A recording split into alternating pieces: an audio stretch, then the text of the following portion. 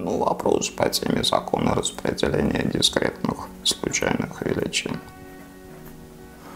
А первый вопрос а, будет а, почти такой же, как тот, что я уже рассматривал. Берем урну. В урне 4 белых и 6 черных шара. Извлекаем 4 шара. Ну, случайная величина x, которая здесь возникает. Пусть это число извлеченных черных.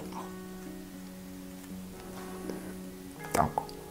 Ну вот требуется выписать закон распределения. Ну а вторая задачка вот какая.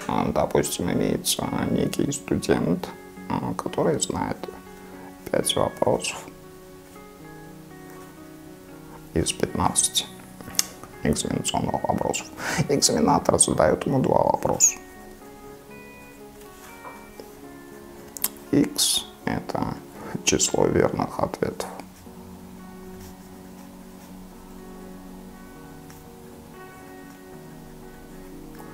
Но на это точно так же нужно записать э, закон распределения числа верных ответов.